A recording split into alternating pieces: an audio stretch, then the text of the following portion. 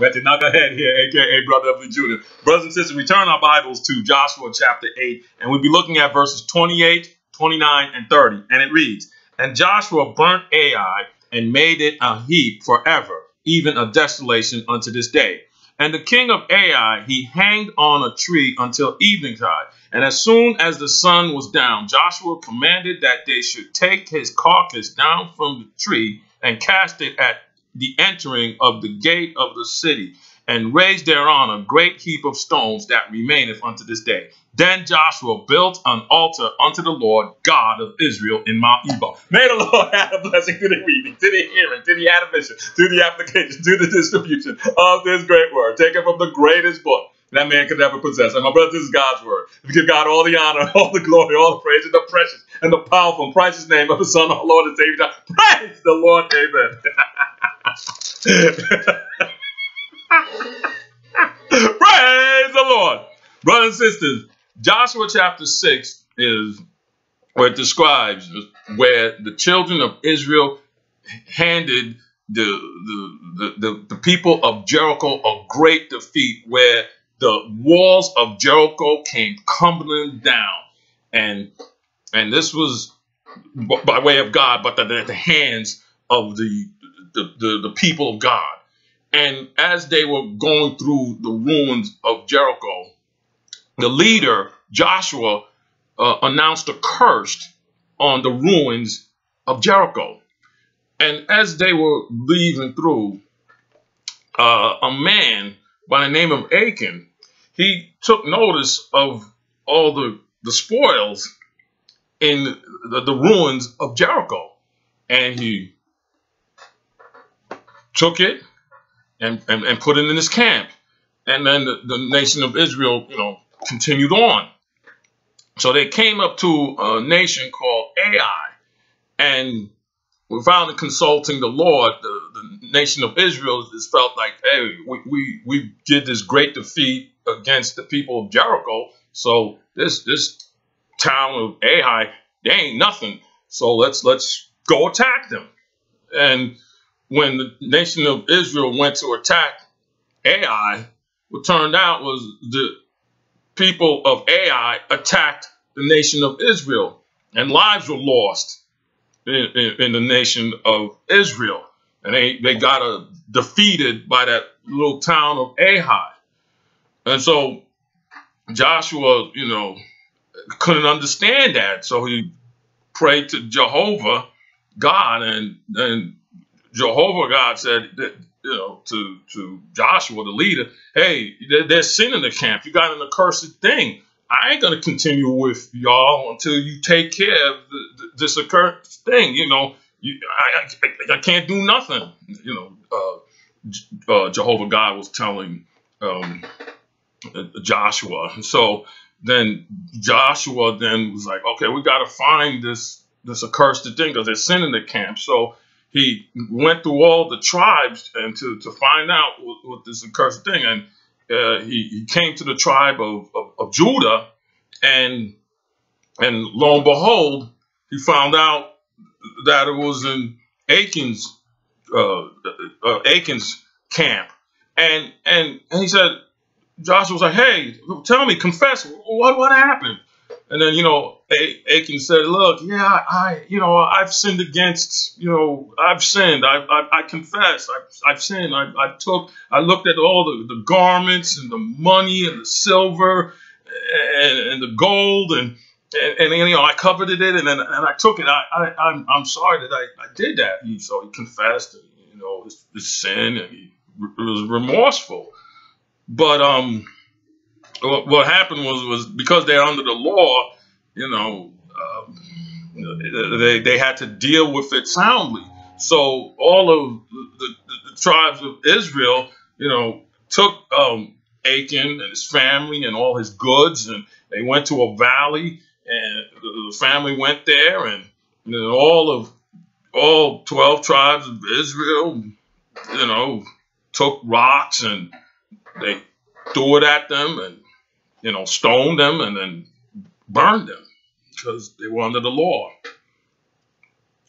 And that's the way they, they had to take care of that problem.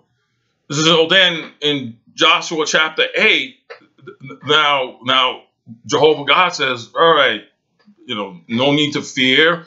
Um, and and ministered to the children of Israel. They went and um, to, to Ai. At this time, they soundly defeated them, and and in soundly defeating them, they the nation of Israel took their king, the king of Ai. And let's pick that up in um, Joshua chapter 8, uh, verse 28, where it says, And Joshua burnt Ai and made a heap forever, even a desolation unto this day. And so watch this in verse 29. And the king of Ai, he hanged on a tree. You know, our Lord and Savior Jesus Christ, who's also a king, he hung on a tree. He hung on a cross. Uh, the Bible says in Galatians chapter 3, verse 13, Christ has redeemed us from the curse of the law by being a curse for us. For as written, cursed is everything that hangs on a tree. And we see um, this Gentile king, king of Ai, was hanged on a tree until evening time, evening tide. And as soon as the sun was down, Joshua commanded that they should take his carcass down from the tree. You know, in John chapter 19, when after Jesus said in John chapter 19, verse 30, was that it is finished when he took our became our sin offering, took the sins of the whole world. And, and, and, and he said, It is finished. And the, the, the people was like, Okay, we got to hurry up because uh, it can't hang there too long. Got to get ready for the Passover. So then they were going to go to break the leg of our Lord and Savior Jesus, but they saw that he was dead already. And because they wanted to hasten the death because and we see here, Joshua commanded that they should take his carcass down from the tree and cast it at the entering of the gate uh, of, the city and raise on great heaps of stones that remaineth unto this day. So um, they, they wanted to hurry, bring him down, just like with our Lord and Savior Jesus, the King of Kings, who they wanted to hasten his death to, to prepare for the the, the celebration. And, and then and then watch this in verse 30. Then Joshua built an altar unto the Lord, God of Israel, in Mount Ebal. So Joshua built, again, he's building this for the nation of Israel. He built this altar by a Mount Ebal. And so let's look what the Bible says about Mount Ebal. And in Deuteronomy chapter 11, praise the Lord. in Deuteronomy chapter 11, verse 29, it says, And it shall come to pass when the Lord thy God hath brought thee into unto the land whither thou goest to possess it, that thou shalt put the blessings on Mount Gerizim and the curse upon Mount Ebal. So we have Mount Gerizim, where the blessing is, and then we have Mount Ebal, where the curse is. And Joshua makes an altar unto the Lord God in the Mount of God of Israel in Mount Ebal. So in the middle is the altar, and flanking it is Mount Gerizim for the blessing and Mount Ebal for the curse. And so let's look at another instance about this Mount Ebal and especially Mount Gerizim. And it's in Deuteronomy chapter 27. Praise the Lord. and in Deuteronomy chapter 27, we see in verse 11. This is Moses now giving the instructions to the, the children of Israel. And he says this in Deuteronomy chapter 27, verse 11. And Moses charged the people that day, saying, These shall stand upon Mount Gerizim to bless the people. when ye are come over Jordan, Simeon and Levi and Judah and Issachar and Joseph and Benjamin. So that those tribes will stand at Mount Gerizim, which stands for the blessing. And then watch this, verse 13 of Deuteronomy chapter 27. And these shall stand upon Mount Ebal. So Gerizim to bless the people, Mount Ebal to curse.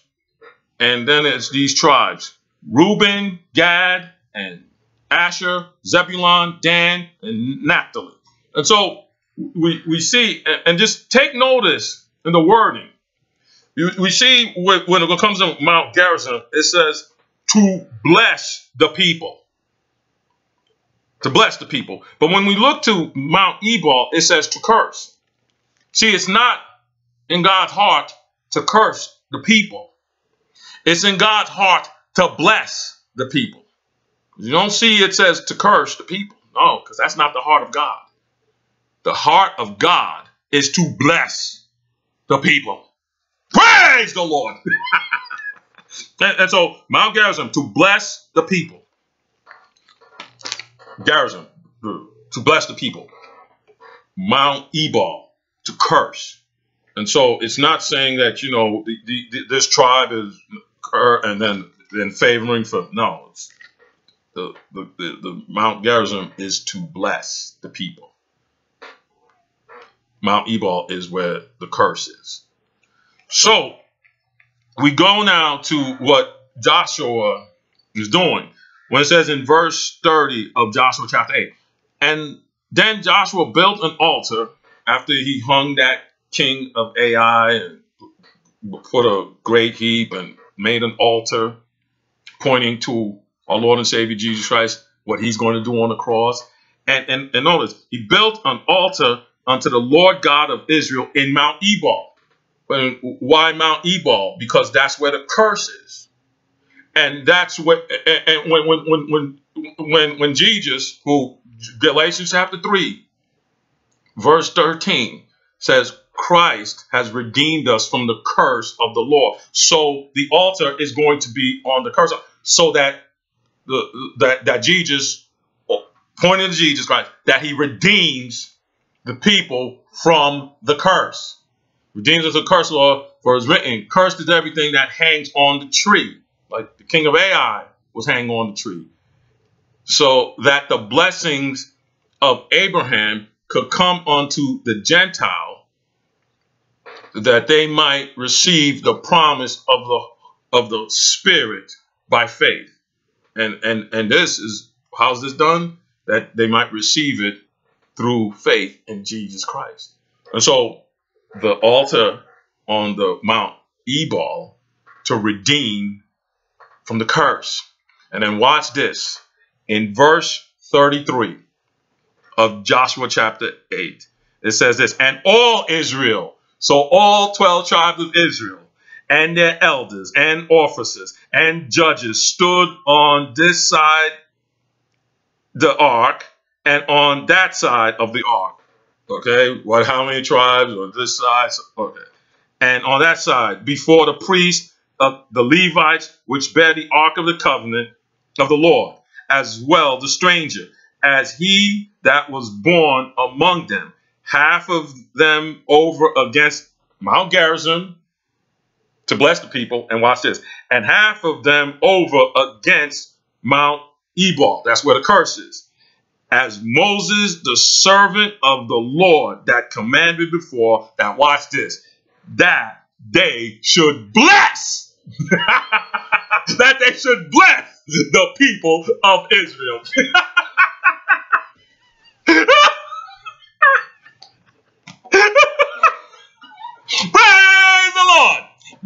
bless you. Ah. Let me, see that? That was the heart of God. He wants to bless the people. Okay, let me start. The Lord bless you. May the Lord keep you. May the Lord's face shine upon you. May the Lord lift up his countenance you. May the Lord give you his peace. And I commend you all to God and to the word of his grace, which is able to build you up in heaven, to those who are sanctified in the precious name of his Son, our Lord and Savior, Jesus Christ. And now to him that is able to keep you from falling, and present you flawless in the presence of the Lord, both glory, majesty, dominion, power, both now and forevermore. Praise the Lord. Amen. God bless. A God they love. Oh, praise the Lord.